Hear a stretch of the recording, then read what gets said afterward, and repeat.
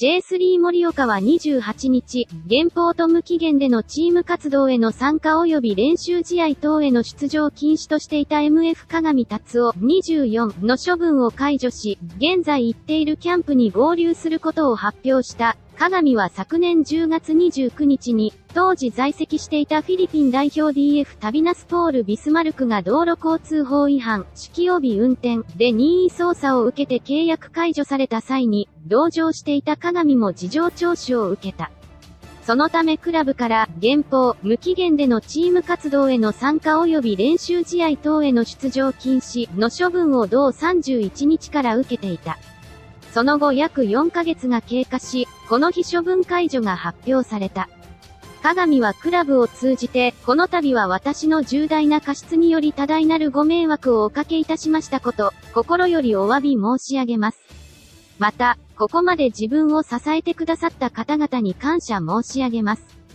日々の感謝を忘れずに、自分らしさを出し、強い覚悟を持って一日一日サッカーに打ち込みたいと思います。とコメントした、森岡の秋田豊社長は、鏡達夫選手は、おおよそ4ヶ月間、謹慎期間中の地域貢献活動への参加、クラブのホーム活動や地域貢献を積極的に行ってまいりました。とした上で、そんな鏡達夫選手を見守ってきて、そろそろチームに合流させる時期が来たと判断し、2月28日にチームに合流いたします。と処分解除の理由を説明。試合はまだ出場という形は考えておりませんが、鏡達夫選手の様子を見守りながら判断していきたいと考えております。と今後の方針を示した。しかし、ファンやサポーターの間からは処分の解除が早すぎるとの意見が続出。運転したもの同様、契約解除が妥当、との声や、謹慎がほぼオフシーズンで、シーズン開幕したら処分解除ってどうなんだろうね、との指摘も、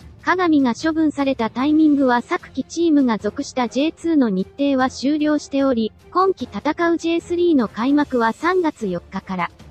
つまり公式戦の出場には支障ない範囲での処分解除となっており、甘すぎる、と疑問視する声が出ているのだ。鏡の扱いをめぐっては今後も物議を醸しそうだ。